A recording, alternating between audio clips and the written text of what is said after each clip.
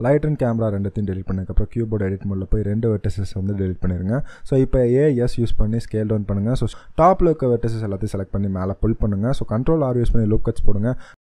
டாப்பில் இருக்க ஒரு ஃபேஸை மட்டும் செலக்ட் பண்ணி ஷிஃப்ட் டி யூஸ் பண்ணி டூப்ளிகேட் பண்ணதுக்கப்புறம் லைட்டாக மேலே மூவ் பண்ணி எக்ஸ் ஆக்சஸில் ஸ்கேல் இன்க்ரீஸ் பண்ணுங்கள் ஸோ அதுக்கப்புறம் வந்துட்டு ட்ரையாங்கிள் ஷேப்பில் மாற்றுறதுக்காக வந்து ரெண்டு வெர்டஸை செலக்ட் பண்ணி எம் கொடுத்து அட் சென்டர் கொடுத்தீங்க அப்படின்னா வந்து ட்ரையாங்கிள் ஆயிரும். கண்ட்ரோல் ஷிஃப்ட் பி யூஸ் பண்ணி மூணு வெர்டஸத்தையும் வந்து பெவல் பண்ணிங்க அப்படின்னா வந்து ரவுண்டட் எஜஸ் ஆயிரும்.